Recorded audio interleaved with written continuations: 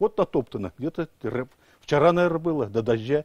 На этом месте, как объясняют специалисты, в борьбе за самку сошлись два лося. В таких баталиях победитель получает все. Внимание женской особи, проигравший должен уйти. И этот путь отступления зачастую пересекается с автодорогами.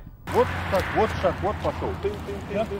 Одна из таких лосиных троп на трассе Казань-Зеленодольск. Вот это самое особо опасное место, потому что здесь уже, я не знаю, да, мою жизнь горов 40, наверное, 50 сшибло.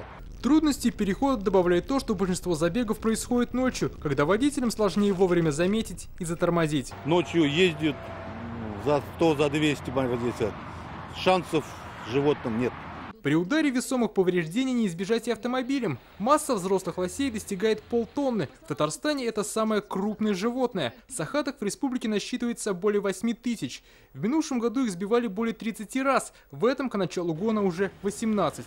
Сейчас, когда лоси активничают, водители сбавляют обороты. Опасаюсь как нет, ну 300 килограмм мяса, ну, видел, что они могут сделать. Так что не хотелось бы встретиться с ними. Осторожней надо быть просто. Темное время, конечно, лучше желательно останавливаться и спать. Чтобы уберечься от столкновений, в мире придумали специальные мосты для животных. Такие так называемые эко-дуки с натуральной растительностью особенно популярны в Западной Европе. Правда, эти переходы удовольствие не дешевое. В России первый мост для животных появился только в 2016 году под Калугой. Его стоимость составила 17 миллиардов рублей. Пока у нас самые ходовые меры – знаки на дорогах, ограждения и бдительность самих водителей. Во время лосиного гона всех автомобилистов просят не гонять. Брачный период у животных продлится до конца октября.